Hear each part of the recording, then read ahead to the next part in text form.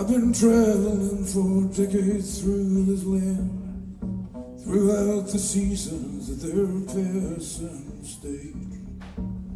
I played a lot at stake and I've not been on hand, reveled